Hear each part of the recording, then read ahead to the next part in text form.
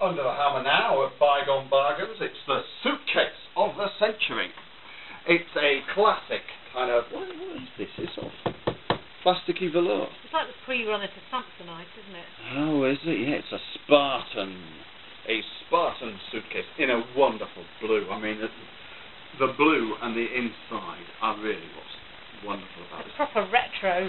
Yeah, it's proper retro 50s, 60s, Yeah. isn't it? Yeah, it's got that classic sort of almost like oversized wireless shape to it with the kind of Yeah. rounded edges and a slight taper up to the top. It's in very good condition.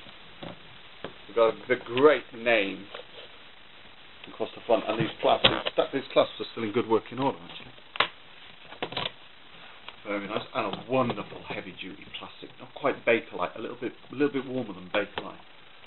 And this great trim as well, this lovely plastic trim. And then the inside has got this just so evocative of the age, isn't it? It's like Pan Am. Brilliant. It's got a wonderful uh, suitcase smell as well.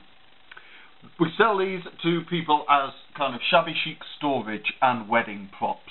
They really go as wedding props. A lot of people like that look of, they're going on their honeymoon, they've got some bags in the corner as a little prop to uh, to dress their wedding.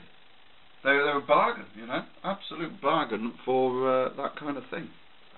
Lovely, lovely. Yeah, there's a little clip on one side, but it Yeah, not on the other on the side. other, but the hinge is still good, isn't it? Oh, the hinge yeah. is good. Yeah, it's not part of the hinge. It's uh, it's a sort of little. It's got a few little knocks and bumps here and there, but on the whole, I mean, the, the uh, paper interior of this is absolutely spotless, yeah, really. It's yeah, yeah, yeah. That paper interior is fantastic. there, but it's a, it's a cracker. It is a cracker. It's a lovely, lovely little suitcase. I mean, and they do make wonderful shabby chic storage. You know. Pop, pop it on top of the wardrobe, and just, it just um, has character. Mm. Kind of. It's got a couple of little scuffs. Let's go back to that. Just on the base. See where the um, the colour is just worn slightly. Just Yeah. turn it around here, and there's a little scratch just there. And again, a couple of little scuffs, Scuffs as you scrapes. expect, really, of an item of this age Mm. and uh, and its use, but still in very, very good condition. Yeah, it is. yeah, yeah. Lovely little metal feet as well. Mm. Well, we do sell things in other places. So uh, if this suitcase has taken your fancy, get a bid on before it's gone.